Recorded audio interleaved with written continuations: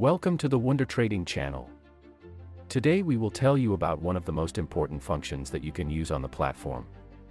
If you create and optimize trading strategies, this function will be your indispensable assistant. Today we will talk about trailing stop. Get ready to learn how trailing stop can change the strategy result from this to this. Trailing stop plays a key role in creating successful trading strategies and optimizing your trading bot.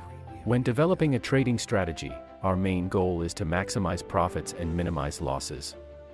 Trailing stop allows us to automatically monitor market price movements and adjust the stop loss order in such a way as to protect our profits while allowing them to grow.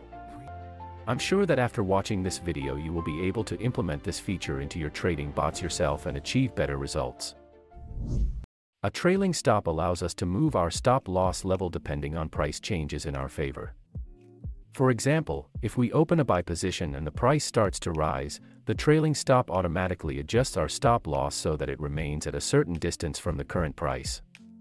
In this way, we protect our profit if the price suddenly changes and goes in the opposite direction. It is this ability to dynamically set stop loss orders that makes trailing stop an indispensable tool for successful trading. It allows us to fix profit in case of positive price movement, at the same time providing protection from potential losses. I prepared a real trading strategy where you can see how without trailing stop a strategy can have problems and not cope well with market volatility, while using trailing stop is much better and profits are stable. It is a strategy that opens a long position when the instrument crosses the upper band of VWAP standard deviation and opens a short position when the instrument crosses the lower band. I also added a trend filter that stops entries that are opposite to the current VWAP trend. This strategy uses a classic fixed stop loss, which clearly shows a negative result on this asset. Since I noticed the negative results caused by using the classic fixed stop loss, I made changes to the strategy. Instead, I implemented a trailing stop. Let's change this setting and compare the results. The results using trailing stop have been much better. When the instrument crosses the standard deviation band of VWAP, the strategy opens a long or short position accordingly. And instead of using a classic fixed stop loss, trailing stop allows us to protect profits by moving the stop loss closer to the current price as the instrument goes up or down. This allows us to lock in more profits in the event of a long move.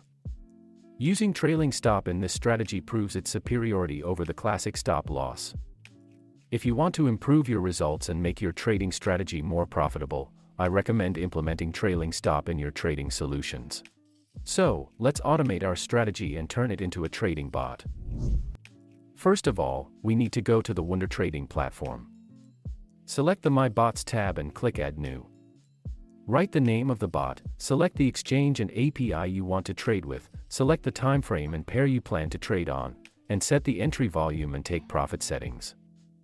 For the strategy we use trailing stop which you should turn on and also set the necessary settings. The next thing you need to do is to copy and paste the comments in the strategy settings. Let's do that.